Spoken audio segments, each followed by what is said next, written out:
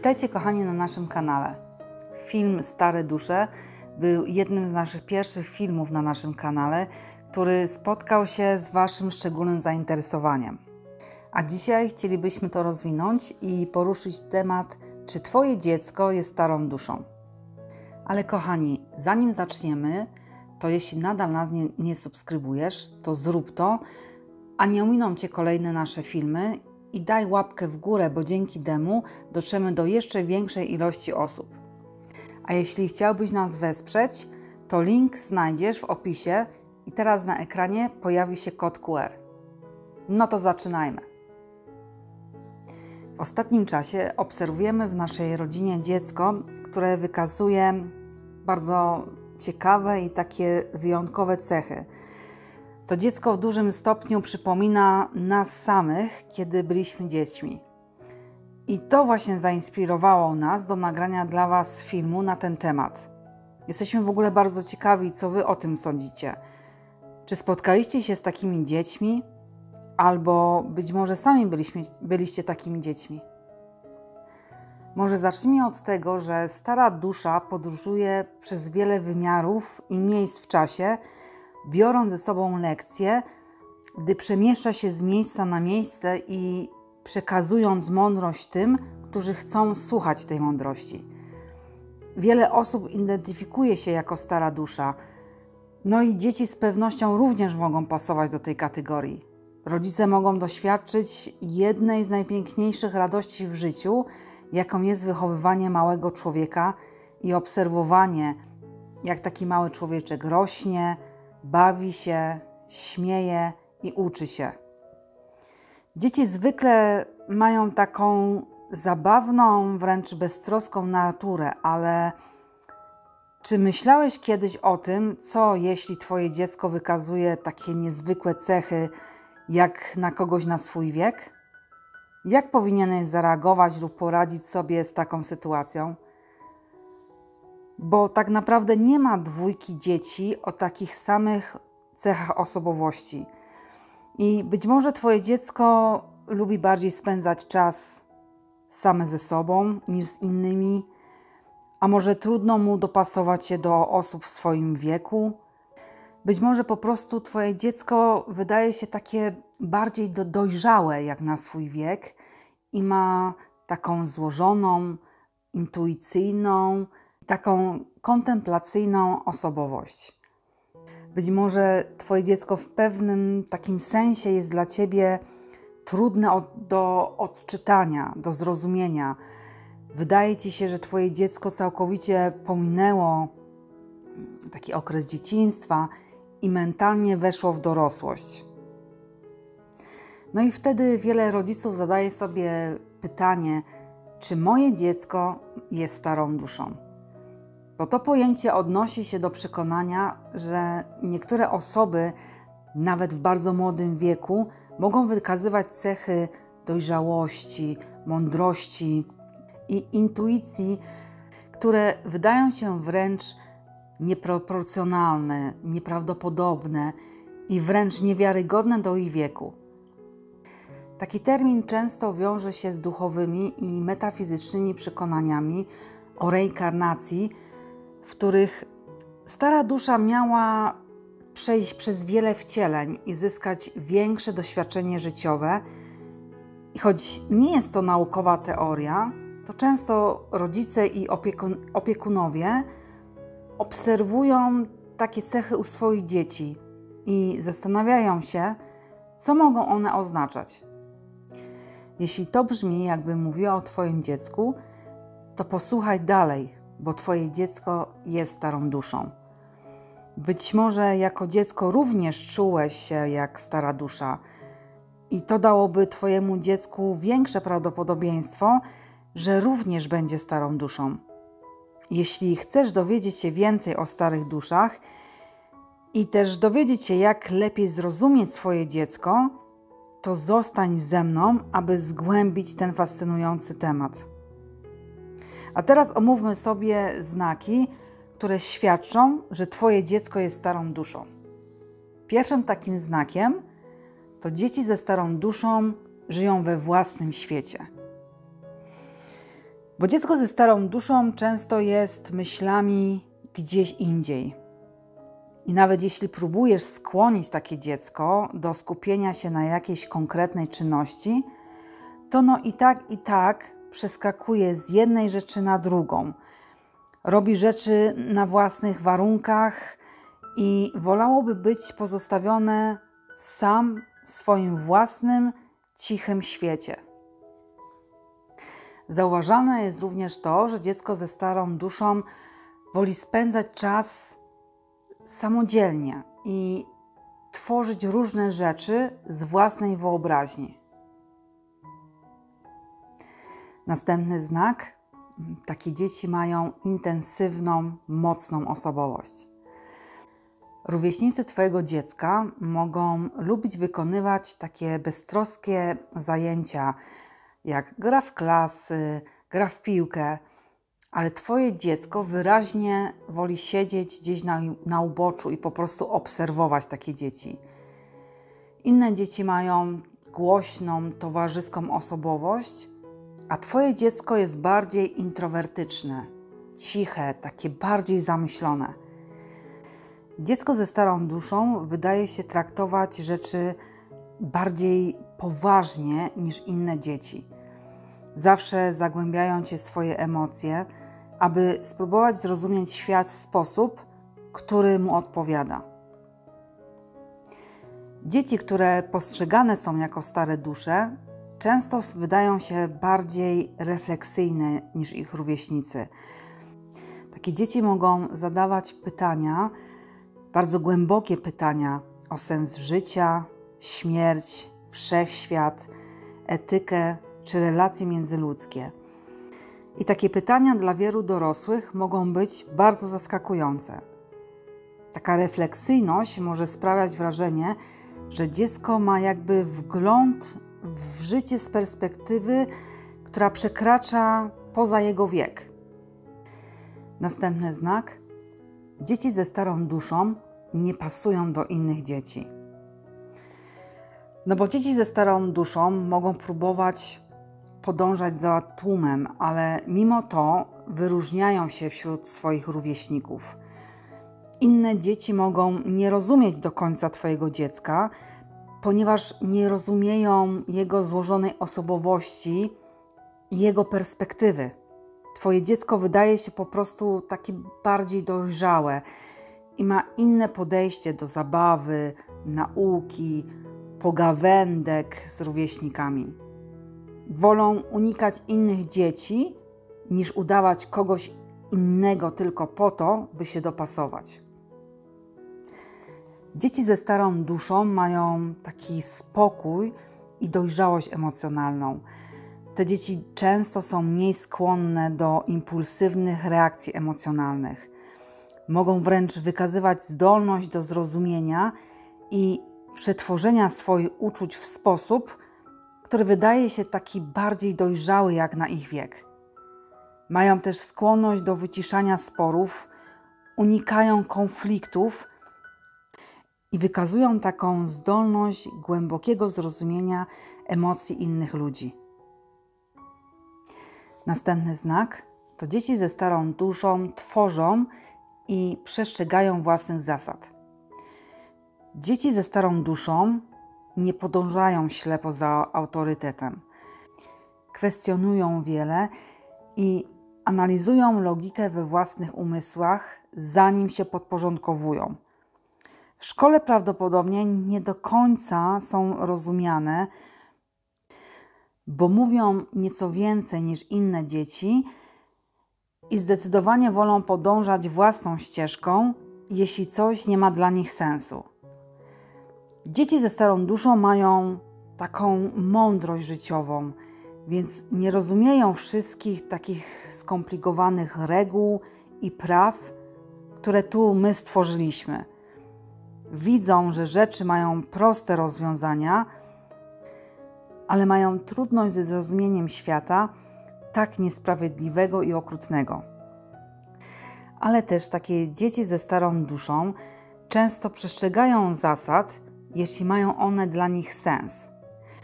I właśnie przez to mogą dostać taką etykietkę buntownika w domu czy w szkole ze względu na swoje zachowanie. Następny znak. Dzieci ze starą duszą lubią spędzać czas samotności. Stare dusze mają zwiększoną wrażliwość na swój wewnętrzny świat i świat wokół nich, więc bardziej wolą spędzać czas samotności, aby uniknąć nieprzyjemnych uczuć, które odczuwają z powodu zbyt dużego hałasu. Stare dusze mają niesamowity związek ze światem przyrody i wolą bardziej spędzać czas zanurzeni w naturze niż w nowoczesnym świecie. Dzieci ze starymi duszami mogą czasami preferować samotność lub takie ciche zajęcia nad intensywną interakcją z rówieśnikami. Mogą nie odnajdywać się w takich typowych grupowych aktywnościach, woląc swój czas poświęcać na refleksję, czytanie czy twórczość. Taka potrzeba bycia samemu nie musi wynikać z braku umiejętności społecznych, lecz z głębokiej potrzeby zrozumienia siebie i świata. Następny znak. Dzieci ze starą duszą są niezwykle ciekawskie. Będą zadawać mnóstwo pytań, dopóki nie uzyskają niezbędnych odpowiedzi. Mają mnóstwo zainteresowań i żyją, aby zdobyć zrozumienie i mądrość. Zainteresowania takich dzieci często wykraczają poza typowo dziecięce zabawy. Zamiast fascynować się grami komputerowymi czy popularnymi trendami, dzieci ze starą duszą mogą wykazywać zainteresowanie historią, filozofią, literaturą czy innymi tematami, które normalnie przyciągają osoby dorosłe. Często szukają sensu i głębi w tym, co właśnie robią, preferując zajęcia, które pozwalają na rozwój intelektualny i duchowy. Następny znak to intuicja. Dzieci ze starą duszą charakteryzują się również silną intuicją. Dzieci te mogą mieć wyjątkową zdolność do czytania emocji innych ludzi, do rozpoznawania takich niewypowiedzianych problemów czy przewidywania konsekwencji pewnych działań. Często działają kierując się głosem wewnętrznym, nawet jeśli do końca nie potrafią logicznie wyjaśnić swoich decyzji. A jak możesz wspierać rozwój dziecka ze starą duszą? Jeśli Twoje dziecko wykazuje cechy charakterystyczne dla starej duszy, ważne jest, aby je wspierać w sposób, który pozwoli mu w pełni rozwinąć swoje talenty i zainteresowania. A w jaki sposób możesz wspierać dziecko ze starą duszą? Zachęcaj do zadawania pytań. Pozwól dziecku odkrywać świat i poszukiwać odpowiedzi na pytania, nawet te trudne. Bo taka otwarta rozmowa na temat filozofii, życia czy emocji może bardzo pomóc dziecku w zrozumieniu jego własnych przemyśleń i własnych doświadczeń. Stwórz dziecku przestrzeń do introspekcji. I zamiast zmuszać dziecko do ciągłych interakcji społecznych, to daj mu przestrzeń na czas dla siebie. Wspiera jego pasje, jego hobby, które pozwalają na kreatywność i refleksję. Daj wsparcie emocjonalnie takiemu dziecku. Dzieci ze starą duszą są wyjątkowo wrażliwe emocjonalnie. I ważne jest, abyś dla takiego dziecka był emocjonalnie dostępny, pomagając mu zrozumieć i przetworzyć swoje uczucia. Pokaż dziecku równowagę między samotnością a towarzystwem. Choć dziecko ze starą duszą może preferować samotność, kluczowe jest także zapewnienie mu takiego zdrowego kontaktu z rówieśnikami, aby rozwinęło umiejętności społeczne i budowało relacje. To jakie wyzwania czekają na Ciebie w wychowaniu dziecka ze starą duszą? Wychowanie dziecka postrzeganego jako stara dusza może być wyjątkowym doświadczeniem, ale też wiąże się również z pewnymi wyzwaniami, które mogą wymagać od rodzica specjalnego podejścia i zrozumienia. Pierwszym takim wyzwaniem to zrozumienie głębokich przemyśleń dziecka.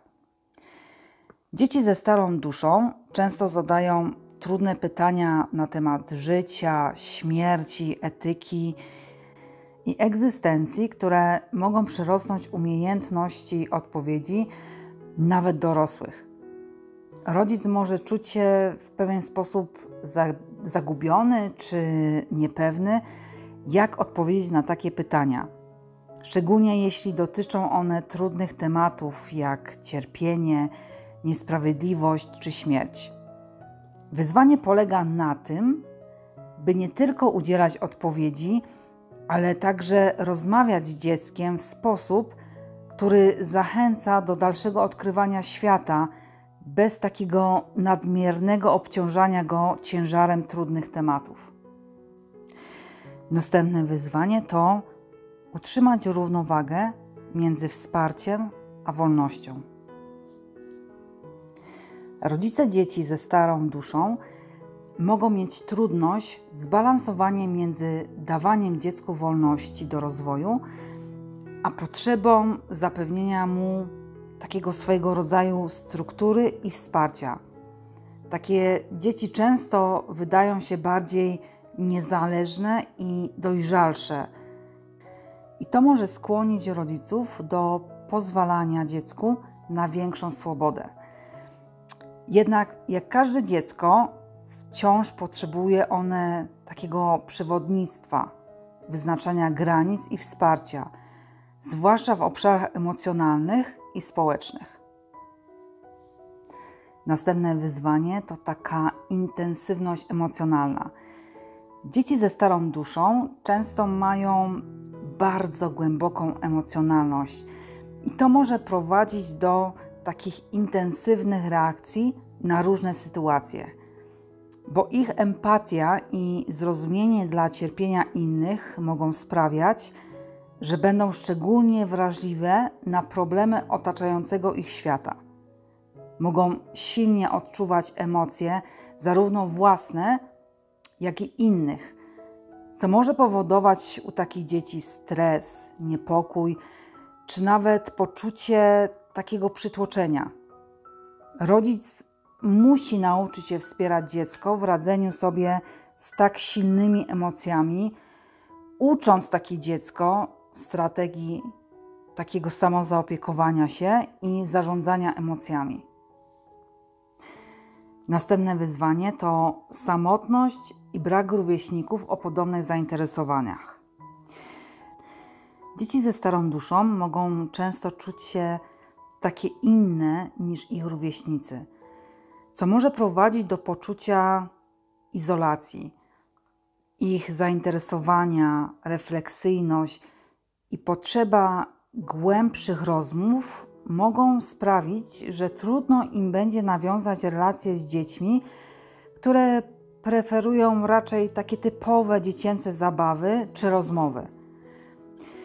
Rodzice dziecka ze starą duszą mogą stanąć przed wyzwaniem wspierania dziecka w znalezieniu przyjaciół, z którymi będą mogli dzielić podobne pasje, ale jednocześnie nauczyć go, jak budować relacje z osobami o innych zainteresowaniach. Następne wyzwanie to presja bycia innym lub nadmierne oczekiwania wobec takiego dziecka. Rodzice mogą nieświadomie stawiać wyższe oczekiwanie wobec takiego dziecka, które postrzegają jako starą duszę, oczekując od niego większej dojrzałości czy mądrości niż u innych dzieci w jego wieku. I to może wywoływać presję na dziecko, które mimo swojej dojrzałości wciąż jest tylko dzieckiem i potrzebuje wsparcia w swoim rozwoju.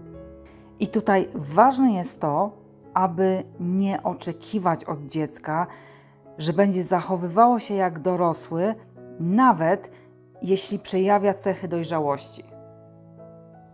Następne wyzwanie to stymulowanie intelektualne i duchowe. Dziecko ze starą duszą często ma ogromne zapotrzebowanie na intelektualne i duchowe wyzwania. Może szybko nudzić się takimi typowymi zabawami czy zajęciami, jeśli nie dostarczają one mu wystarczająco głębokich bodźców. Rodzic musi znaleźć sposób, aby dostarczyć takiemu dziecku odpowiednich wyzwań, zarówno tych intelektualnych, jak i duchowych, aby takie dziecko mogło rozwijać swoją pasję i zainteresowania. To może wymagać od dziecka aktywnego poszukiwania odpowiednich książek, zajęć, być może dodatkowych y, nauczycieli czy rozmów. Następne wyzwanie to wspieranie w procesie integracji ze światem materialnym. Bo dzieci ze starą duszą mogą czasami odczuwać taki pewien dystans do świata materialnego, skupiając się bardziej na zagadnieniach duchowych czy intelektualnych. I to może prowadzić do trudności z radzeniem sobie z codziennymi, praktycznymi wyzwaniami, takimi jak obowiązki szkolne, interakcje społeczne czy zarządzanie czasem. Rodzic musi pomóc dziecku w nauce jak radzić sobie z tymi aspektami życia, jednocześnie nie tłumiąc jego wyjątkowej perspektywy.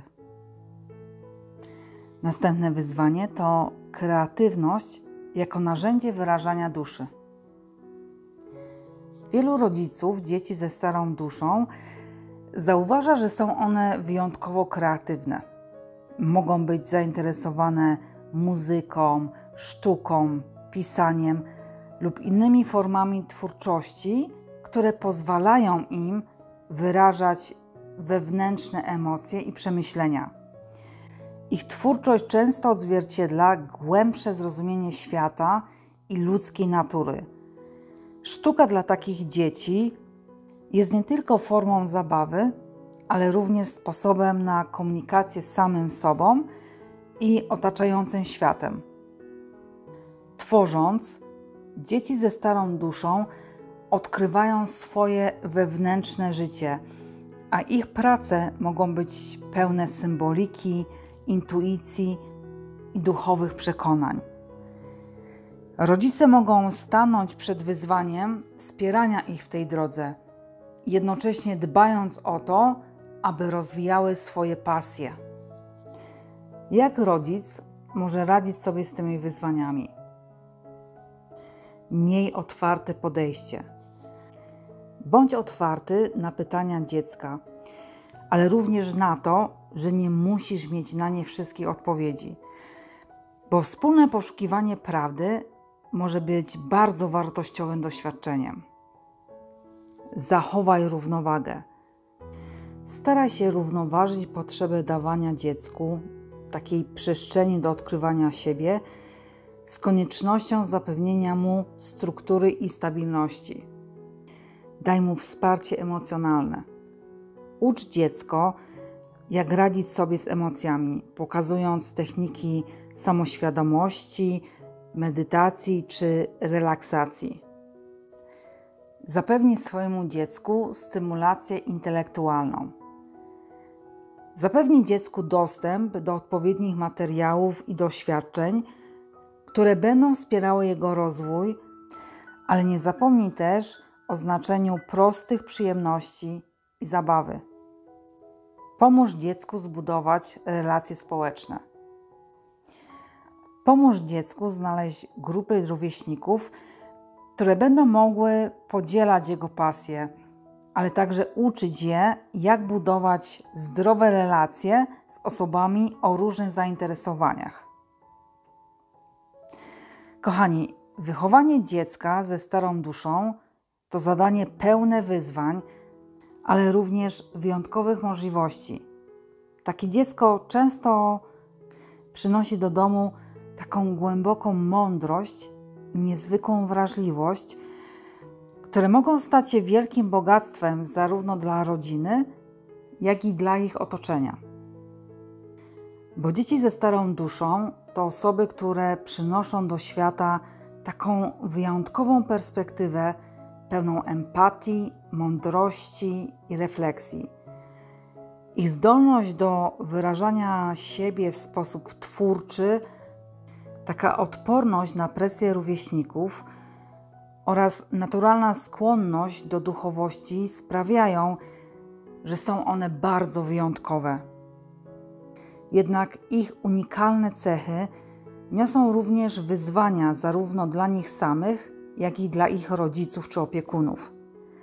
Wsparcie w odkrywaniu ich wyjątkowych talentów i troska o takie ich emocjonalne potrzeby może pomóc tym dzieciom w pełni wykorzystać ich potencjał, jednocześnie zapewniając im zdrowy i zrównoważony rozwój. Kochani, mamy nadzieję, że wytrwaliście z nami do końca i zaciekawił Was ten temat, bo dla nas to jest y, bardzo fascynujące. Jesteśmy ciekawi, co o tym sądzicie. Czy y, w swoim życiu doświadczyliście kontaktu z takim dzieckiem, a być może sami byliście takimi dziećmi w czasie Waszego dzieciństwa. Podzielcie się z nami w komentarzach y, swoimi doświadczeniami i co w ogóle myślicie na ten temat. Kochani, jeśli podobał Wam się nasz film, to prosimy zostaw łapkę w górę, a jeśli nie subskrybujesz naszego kanału, to prosimy zrób to, bo dzięki temu po pierwsze nie omijają Cię kolejne nasze treści, a po drugie dotrzemy do większej liczby osób, które być może będą zainteresowane naszymi treściami. A jeśli chciałbyś wesprzeć nas i docenić naszą pracę, to na dole w opisie znajdziesz link do Buy Coffee, gdzie możesz nam postawić wirtualną kawę. A za dzisiaj bardzo Wam dziękujemy i do zobaczenia. Pa!